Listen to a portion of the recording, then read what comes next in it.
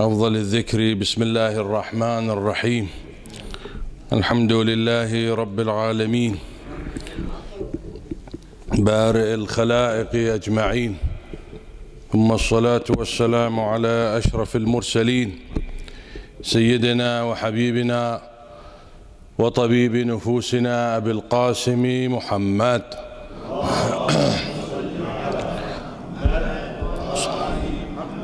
وعلى آل بيته الطيبين الطاهرين. ولعنة الله على أعدائهم أجمعين. عباد الله أوصيكم ونفسي بتقوى الله واتباع أمره واجتناب نهيه. فإن الدنيا بحر عميق قد غرق فيه خلق كثير. قال رسول الله صلى الله عليه وآله وسلم في حق ولده وريحانته سيد شباب أهل الجنة الإمام الحسن المجتبى عليه السلام اللهم إني أحبه فاحبب من يحبه. أبارك لكم ذكرى ميلاد سيدنا وإمامنا الحسن المجتبى سلام الله عليه في الخامس عشر من شهر رمضان الذي يصادف غدا ذكرى ميلاد هذا الإمام العظيم. وقد رفع له ذكرا صلى الله عليه وآله بأن قال إني أحبه فاحبب من يحبه. والحقيقة أن الحب في الله من أعظم المنجات. فالمرء مع من يحب. وقد ورد عندنا أن كثيرا من الصحابة ممن كانوا يعرفون بحب النبي صلى الله عليه وآله وسلم. وقد أنجاهم هذا الحب من الهلاك. فقد ورد أن كأنه كان هناك شاب يتاجر في السوق. كان يأتي كل يوم صباحاً ينظر إلى وجه رسول الله صلى الله عليه وآله وسلم ثم يذهب إلى دكانه. فيستفتح يومه بالنظر إلى وجه خاتم الأنبياء صلى الله عليه وآله. وكان النبي يعرف عادته فكان يتطاول له حتى يرى وجه المصطفى ويبدأ يومه. وذات يوم جاء هذا الشاب ونظر إلى رسول الله كعادته ثم خرج من المسجد وسرعان ما رجع ونظر إلى النبي صلى الله عليه وآله ثم هم بالخروج فاستدعاه رسول الله وقال لقد فعلت على غير عادتك اليوم. أنت اليوم نظرت لي مرتين مش مرة واحدة. قال نعم يا رسول الله فلما خرجت ونظرت إليك وخرجت رأيت قلبي لا يطيق فراقك واشتقت إليك مرة أخرى فعدت إليك أنظر إليك صلى الله عليك فدعا له رسول الله خيرا ورجع وهكذا حتى انقطع ذات يوم وبقي مدة لا يأتي فسأل عنه رسول الله أين هذا الشاب الذي كان يأتينا فلم يعلموا خبره؟ فخرج النبي صلى الله عليه وآله إلى السوق يسأل عنه. فقال أين دكانه؟ فرآه مغلقا. فقال ما الخبر؟ قالوا له لقد مات يا رسول الله. فحزن عليه النبي وترحم عليه واستغفر له. فقالوا له يا رسول الله أتستغفر لفاسق? فقد كان ينظر إلى النساء فقال صلى الله عليه وآله وسلم ما أحقر ذنبه مع عظيم حبه لي. ولذلك هذا الحب للنبي ولمن أحبه رسول الله من جات للأمة وللناس فمن منا لم يقترف ذنبا وخطأ هنا أو هناك ولكن ذخيرته في الآخرة حب الله والرسول. ومن هنا تجد أن النبي صلى الله عليه وآله يرفع شأن حفيده المجتبى من أنه يحبه فاحبب من يحبه يا رب. اللهم اشهد أننا نحب من يحبه رسول الله. فاحببنا يا رب العالمين. نعم هذا إمامنا العظيم الإمام الهمام الذي كان سيدا من سادات المسلمين وعظيما من عظمائهم. يقول الشعبي ما ذل العرب أو ما عرف العرب ذلا حتى مات الحسن بن علي. فقد كان صلى الله عليه آية في الكرم والمجد والجود وكان آية في السخاء والشهامة. يرفع فقر الناس ولا يرد سائلا مهما كان ويقضي حوائجهم صلوات الله عليه. وكان يحلم على سفهائهم. جاءه سفيه في المدينة تعرض له. من أهل الشام وأخذ يشتمه ويشتم عليا. فقال يا هذا أظنك غريب فإن كنت جائعا أشبعناك وإن كنت عاريا كسوناك وإن كنت مدينا قضينا دينك وإن كنت ملهوفا خائفا آمناك وإن كانت لك حاجة قضيناها لك. فوضع الهاشم الشامي اصبعه في فمه وقال الله أعلم حيث يجعل رسالته. مو عجيبة أنتم يا آل محمد صرتوا بهذا المقام. ولذلك كان إمامنا الحسن يتمتع ببهاء النبوة وهيبة الملوك صلوات الله عليه. وكان سيدا مفخما يشبه رسول الله صلى الله عليه وآله في خلقه وخلقه. ولقد ابتلي صلوات الله عليه بطاغية دجال اسمه معاوية بن أبي سفيان. كان معاوية دجالا يظهر التقوى وأنه أحد كتبة الوحي ولكنه في نفس الوقت كان على مستوى من الغل والحرب على الله وعلى رسوله. ولذلك الإنسان عندما يبتلى بعدو مفضوح مكشوف لا يحتاج لأي مؤونة أن يبين وضاعة هذا العدو. ولكنما عندما يبتلى بعدو دجال يظهر نسكا وهو حقود تشتد المسؤولية. هذا اسكتوا هذه خل تغلق التليفون. تشتد المسؤولية وتعظم المصيبة. عندما تراجع تاريخ المسعودي في مروج الذهب عن برنامج معاوية بن أبي سفيان اليومي تقول هذا لا يمكن أن يكون إلا من الصالحين أولياء الله. كان كل ساعتين يقرأ جزءا من القرآن ويأمر بقضاء حاجة الفقير. البرنامج اليومي لمعاوية مذكور في مروج الذهب المجلد الثالث المسعودي. تقول هذا نبي هذا مو ملك. يأمر بقضاء حوائج الناس وقراءة القرآن وتعلم الفقه ويأمر بالفضيلة. ولكن كان له مجلس مع شياطينه كان كل هم أن يطمس الدين وأن يدرس معالمه. فابتلي الحسن بهذا العدو.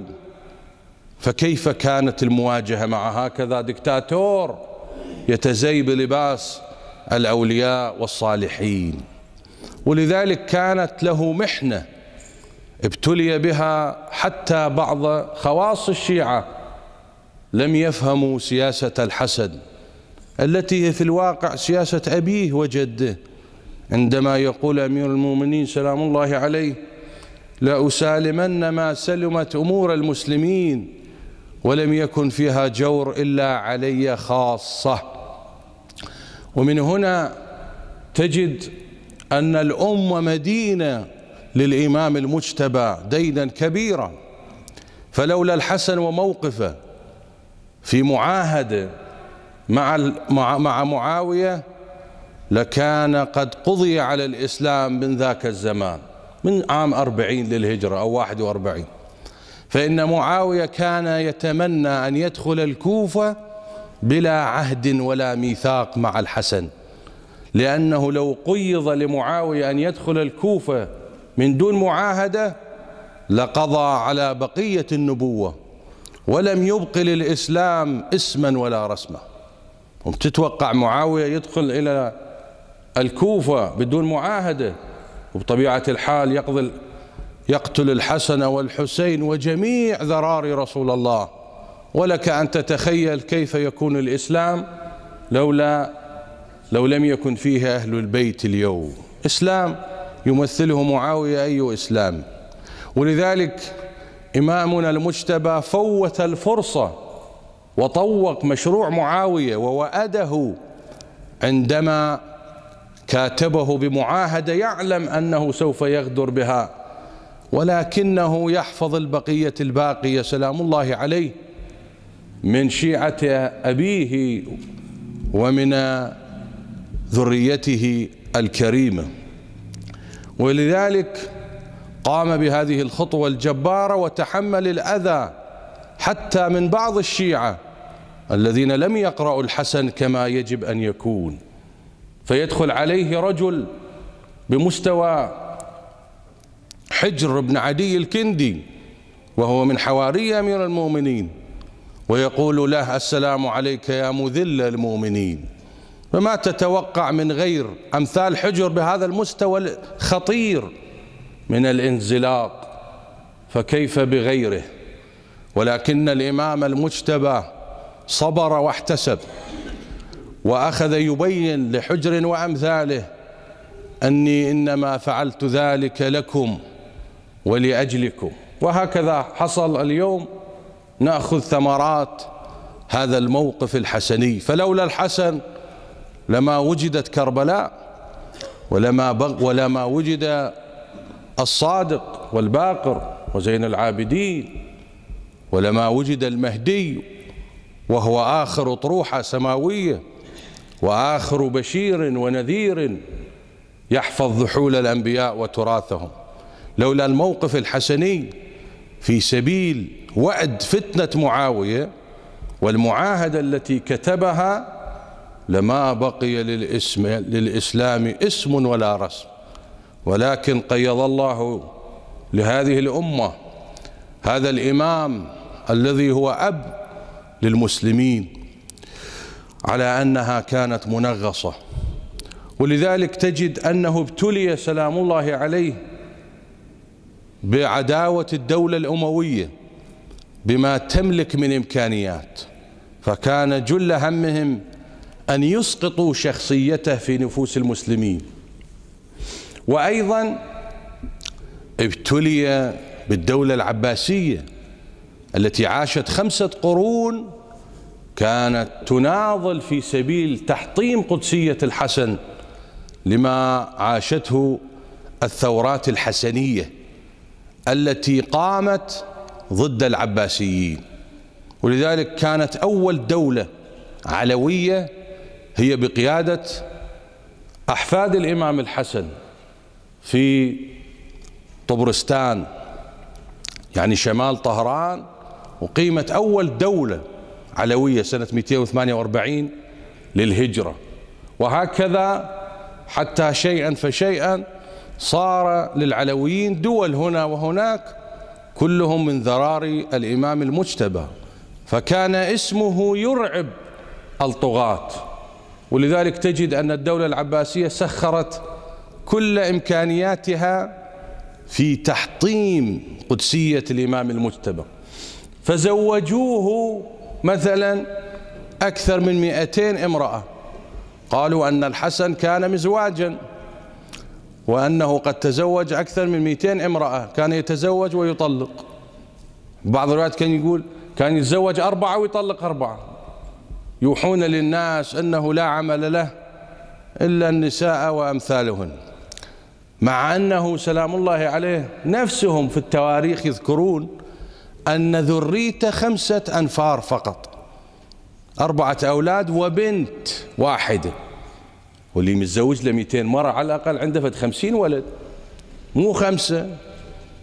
مثل ما نقرأ ونسمع ملوك كثيرين وعنده 30 زوجة و50 ولد. إيه معقول. أما إذا واحد متزوج 200 مرة يتزوج ويطلق على الأقل عنده فد 50 ولد. مو خمسة. هذا دليل كذبهم ودليل أنهم كانوا هدفهم تحطيم قدسية هذا الإمام وتعطيل دوره في المجتمع الرسالي. ولكن الله يقيض للصالحين من يدافع عنهم. فانبرى الحسنيون والحسينيون يحققون ويؤلفون ويدافعون ويبينون الوجه الناصع لإمامنا المجتبى الذي لا زال إلى الآن يشكو ظلامته ويشكو إلى الله مأساته فهو الإمام الوحيد الذي هدمت قبته وتعطلت زيارته بسبب غل أسود وفكر لا يعرف الرأي والرأي الآخر. وهذه مأساة أسأل الله عز وجل أن يرفعها عنه ذات يوم. عرف الإمام بالكرم والجود والمجد وإغاثة الملهوف وهذه من خصال وهذه خصال يحبها الله ورسوله.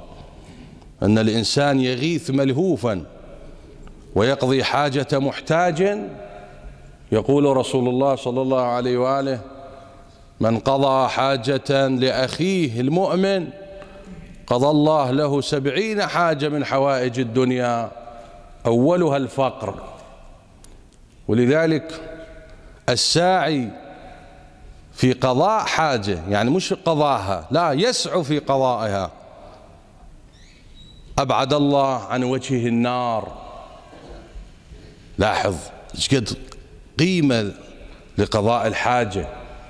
المؤمن يفيض بخيره على غيره وليس المؤمن قنوطا لا يص لا لا يظل إلا نفسه لا أو لا يستظل إلا بظله ولا ينفع احدا المؤمن هو الذي يفيض بخيره على غيره.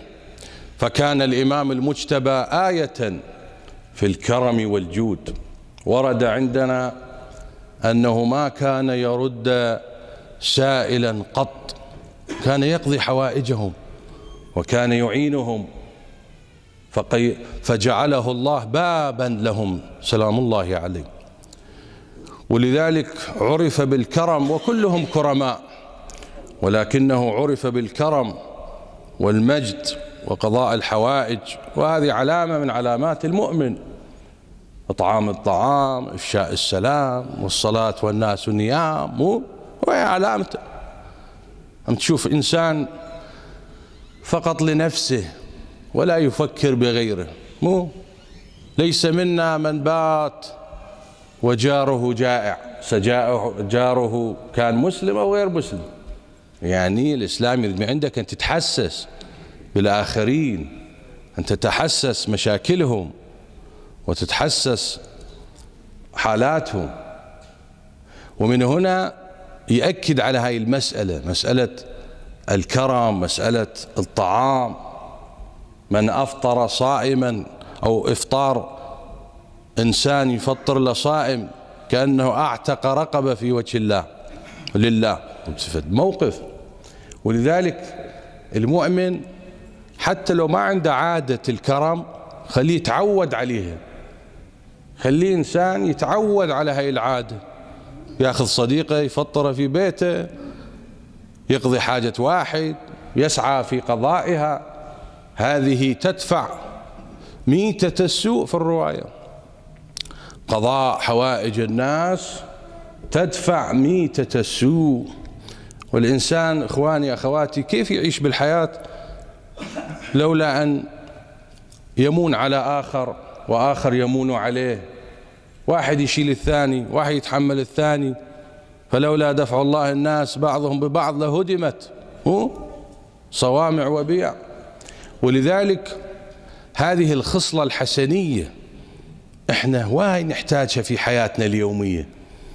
أن الإنسان ينظر لأخيه الإنسان كما لو كان نفسه فيعينه ويقضي حاجته. يقولون جاء رجل قصد إلى بيت صديقه عنده حاجة فطرق الباب فخرجت زوجته قال فلان موجود؟ قالت نعم. فجاء صاحب الدار قال خير يا صديقي. قال والله أنا محتاج لمبلغ. إذا تساعدني تسلفني. فذهب مسرعا وجاء بالمبلغ وأعطاه ورجع باكيا. فقالت زوجته لم تبكي؟ أنت مو ساعدته. أعطيته. ليش تبكي؟ قال أبكي لأني قصرت ما سألت عنه حتى تركته يأتي ويطلب. ليش أنا المفروض؟ من دون سؤال. أفحص عن حالات صديقي وضعه. هذا عاطل عن العمل منين يصرف منين يجيب؟ خليه أساعده. هذه حقوق المؤمنين. إحنا إيش قد نحتاجها هاي الرحمة؟ فيما بيننا خصوصا في شهر الله. شهر المغفرة والرحمة. إخواني أسباب الله عجيبة وغريبة ولا تعرف حدا واحد لذلك عندما يقول النبي دخلت امرأة النار في هرة حبستها فلم تطعمها ولم تتركها تأكل من خشاش الأرض. الله دخلها النار. أسباب عجيبة غريبة أشياء إحنا نستسهلها ونستسخفها وهي عند الله عظيمة. ومن هنا المؤمن أن يراقب نفسه ويراقب مصالحه وأن أيضا يهتم بأصدقائه بجيرانه بمعارفه يقضي حاجة هذا ويسعف هذا. هذه أخلاق يحبها الله ويحبها رسوله صلى الله عليه وآله وسلم. فكان إمامنا يضرب أروع الأمثلة في هذا المستوى من الكرم والجود والسخاء.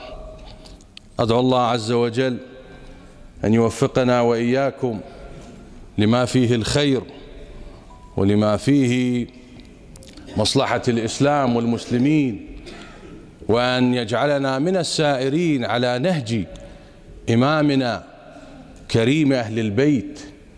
الذي على قساوة الزمان ما كان إلا يشتد في رضا الله ورضا رسوله. ولذلك أنا أقول بصراحة هناك غفلة حتى من شيعة أهل البيت تجاه إمامنا المجتبى عليه السلام. يجب أن نجدد له ذكرا دائما وأبدا.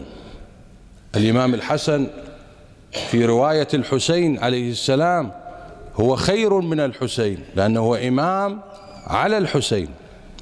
الإمام الحسين أخذ الإمامة الفعلية بعد أخيه فقال سلام الله عليه لأخته زينب أخي مات أبي الذي هو خير مني ماتت أمي التي هي خير مني. ثم يقول ومات أخي الذي هو خير مني.